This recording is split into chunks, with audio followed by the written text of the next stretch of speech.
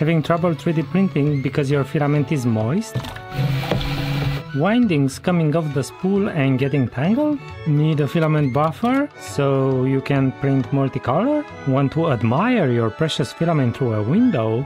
Or just stare at a humidity meter? Or just want a cool gadget to impress your friends who pretend to not care about your 3D printing passion? Then this dry box is made for you.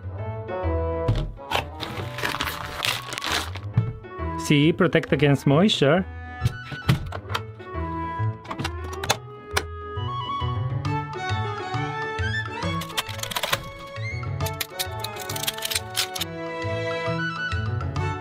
You can download my Drybox design for free from Thangs.